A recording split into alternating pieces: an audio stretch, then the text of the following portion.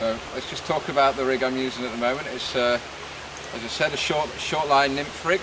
No fly line extended beyond the fly rod.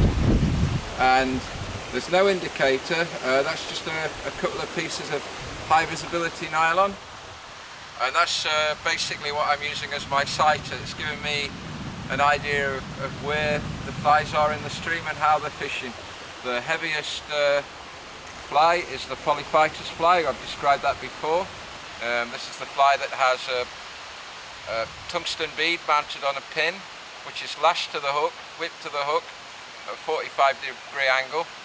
Fish is nice and deep, and the catching fly, which is the middle dropper, you have to be good to get that one cameraman, is um, a small caddis pupae, one of my own clients.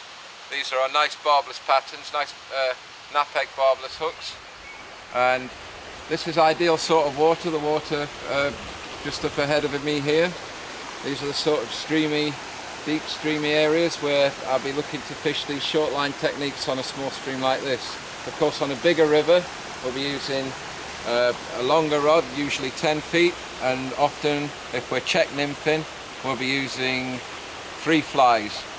Uh, this style I'm using today is more similar to Polish nymphing in that I'm fishing it predominantly upstream.